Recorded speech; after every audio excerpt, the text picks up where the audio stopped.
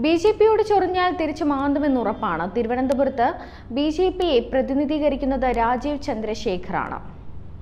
തരൂരിന് വേണ്ടി road show ഉദ്ഘാടനം ചെയ്യാനെത്തിയ D K B J P മത്സരാർത്ഥിയായ രാജീവിനെതിരെ ചോദ്യങ്ങൾ ഉയർത്തുകയും പരിഹസിക്കുകയും ഒക്കെ ചെയ്തിരുന്നു. ഇപ്പോൾ അതിന് വ്യക്തമായ തിരിച്ചടി അതായത് മറുപടി കൊടുത്തിരിക്കുകയാണ് രാജീവ് ചന്ദ്രശേഖർ. കള്ളപ്പണക്കേസിൽ പ്രതിയായ ഡി കെ തനിക്കെതിരെ ആരോപണം ഉന്നയിച്ചാൽ ആരും വിശ്വസിക്കില്ല.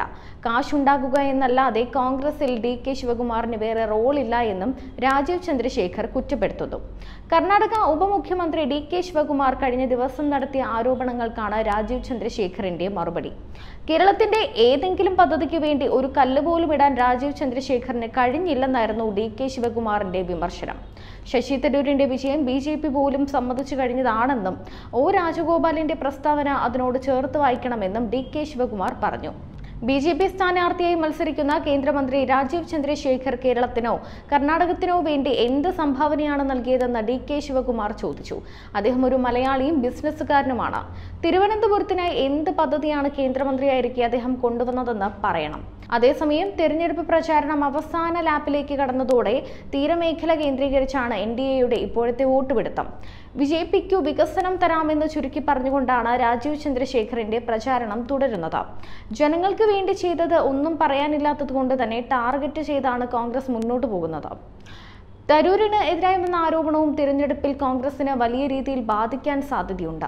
രണ്ടായിരത്തി ഇരുപത്തിരണ്ടിൽ ഡൽഹിയിലെ ഒരു ഹോട്ടലിൽ വെച്ച് ശശി തരൂർ ഒരു സ്ത്രീയോട് മോശമായി പെരുമാറി എന്ന സുപ്രീം കോടതി അഭിഭാഷകൻ വെളിപ്പെടുത്തിയിരിക്കുകയാണ്.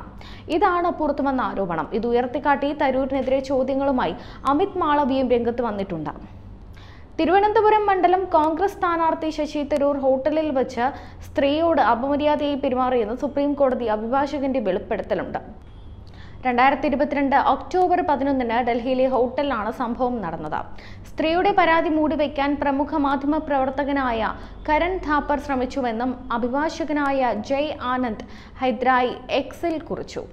സ്ത്രീകളോട് അപമര്യാദയായി പെരുമാറുന്ന ശശി തരൂരിന്റെ ധാർമ്മികതയെ ചോദ്യം ചെയ്ത് B J P I T cell മേധാവി അമിത് മാളവി രംഗത്ത് വരികയായിരുന്നു.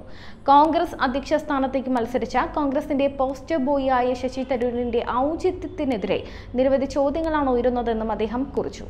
ഭാര്യയുടെ ദുരൂഹമായ മരണത്തിൽ അദ്ദേഹത്തിന്റെ പങ്ക് സംശയാസ്പദമാണ്. അതിന്റെ കൂടെയാണ് ഇതും കൂടി പുറത്തു വന്നത്.